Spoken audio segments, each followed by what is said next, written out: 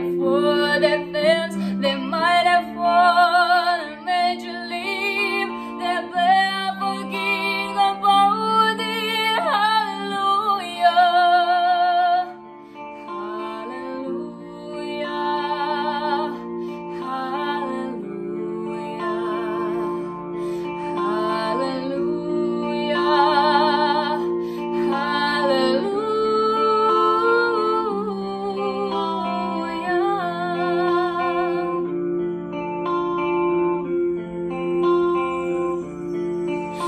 your faith was strong, but it needed